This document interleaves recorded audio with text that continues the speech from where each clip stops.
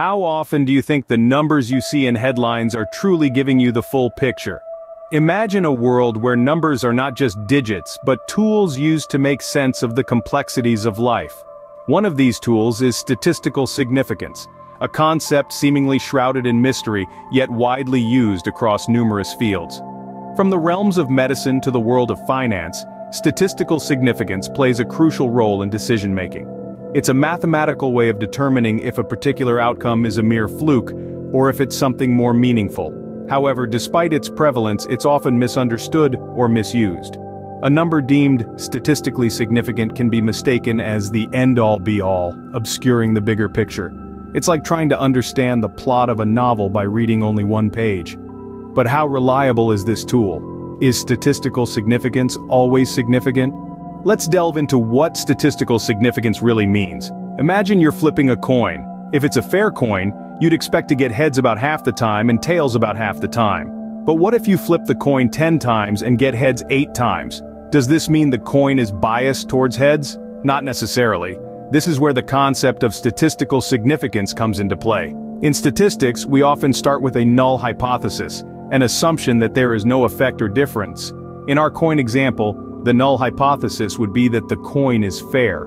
Now suppose we get a result that seems to contradict our null hypothesis. We got heads 8 out of 10 times after all. But is this result just a coincidence or is it statistically significant? To answer this, we use something called a p-value. A p-value is a probability that measures the strength of evidence against the null hypothesis. In this case, it's the probability of getting 8 or more heads in 10 flips if the coin is actually fair. If this probability, the p-value is very small, we might reject our null hypothesis and conclude that the coin is biased. But here's the catch. Just because a result is statistically significant doesn't mean it's practically significant. For instance, if a medical study finds a statistically significant difference in survival rates between two treatments, but the difference is only half a percent, is that really a practical difference? Statistical significance tells us about the likelihood of our results given our null hypothesis. It doesn't tell us about the size or importance of the effect we're studying. It also doesn't tell us whether our result is due to chance or whether our sample is representative of the population we're interested in. So, we've learned that statistical significance might not always be as significant as it sounds. Let's explore why. Statistical significance has its fair share of critics, but why is that? Well, one criticism is that it can sometimes be misleading. It's a mathematical tool that helps us decide if a result is likely due to chance or not. But this doesn't always equate to real-world significance. A study might find a statistically significant difference, but that doesn't necessarily mean the difference is meaningful or important. It could be a very small effect that has little impact in practical terms. Another criticism is the issue of p-hacking. This is a term used to describe when researchers manipulate their data or their analysis until they find a result that is statistically significant. They might try different statistical tests, exclude certain data points, or stop collecting data once they reach significance. This is a form of bias, and can lead to false positive results. Then there's the problem with binary thinking. Statistical significance is often used as a cutoff point with results either deemed significant or not. But reality isn't so black and white. A p-value just above the threshold isn't necessarily meaningless, and one just below isn't necessarily profound. It's a continuum, not a dichotomy. And finally, statistical significance doesn't measure the size or importance of an effect.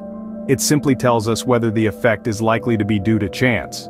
But two studies could have the same p-value and very different effect sizes. One might show a huge, important difference while the other shows a small, trivial one.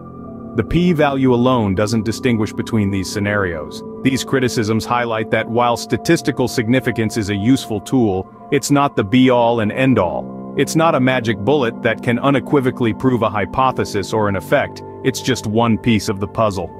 Clearly, there are limits to what statistical significance can tell us. Let's delve deeper into these limitations. The limitations of statistical significance are often overlooked. Let's bring them into focus. Firstly, let's talk about the dependence on sample size. Statistical significance is heavily reliant on the size of your sample. A larger sample size increases the statistical power, and thus, the likelihood of finding a statistically significant result. However, this doesn't mean that the result is practically significant or meaningful, It's like finding a needle in a haystack.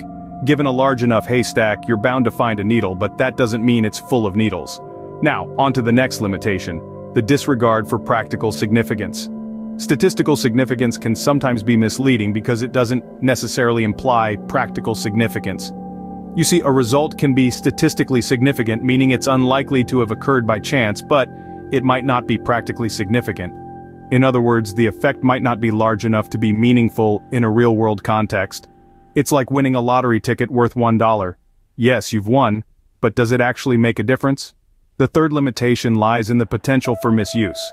Statistical significance can be manipulated or misused in a number of ways, such as p-hacking or cherry-picking data. P-hacking, for instance, involves repeatedly testing a data set until a statistically significant result is found. Cherry-picking, on the other hand, involves selectively presenting data that supports a desired outcome. This kind of misuse can lead to misleading conclusions and poor decision-making. So, in essence, while statistical significance is a useful tool in research, it's not without its limitations. It's dependent on sample size, can overlook practical significance, and is prone to misuse. Understanding these limitations is crucial to interpreting and using statistical findings responsibly. These limitations paint a picture of the reliability of statistical significance. Let's bring it all together. So, how reliable is statistical significance really? As we've explored throughout this video, statistical significance has its share of criticisms, shortcomings, and limitations. While it can provide valuable insights, it is not the be-all and end-all of data interpretation. It's a tool, and like any tool, it has its strengths and weaknesses. Let's take a moment to recap. We've talked about how statistical significance can be criticized for its dependence on sample size. Larger samples can yield statistically significant results, even for minor differences that might not be meaningful in a practical sense. Conversely, smaller samples may overlook significant differences due to lack of power. We've also touched on the issue of p-values. The p-value is the probability of obtaining a result as extreme as the observed one, assuming that the null hypothesis is true. However, it's not a measure of the size or importance of the effect, nor does it tell us the probability that the null hypothesis is true or false. Moreover, we've discussed the limitations of statistical significance. It's not a measure of effect size or practical significance.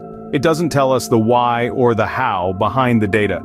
It doesn't take into account the context or the broader implications of the results. This brings us to the key point the importance of context and critical thinking when interpreting statistically significant results. We must remember to consider the bigger picture. What are the practical implications of the results? How do the results fit in with existing research or theories? Are there other factors that could have influenced the results? In conclusion, statistical significance is a useful tool in the toolbox of data analysis. But it's not the only tool, and it's certainly not the most important one. It's a starting point, not an ending point. It can point us in the right direction, but it's up to us to explore further, to ask the right questions, to think critically, and to make informed decisions based on a holistic understanding of the data. Remember, statistical significance is just one piece of the puzzle. It's up to us to look at the bigger picture. If you enjoyed this video, please like, share, and comment.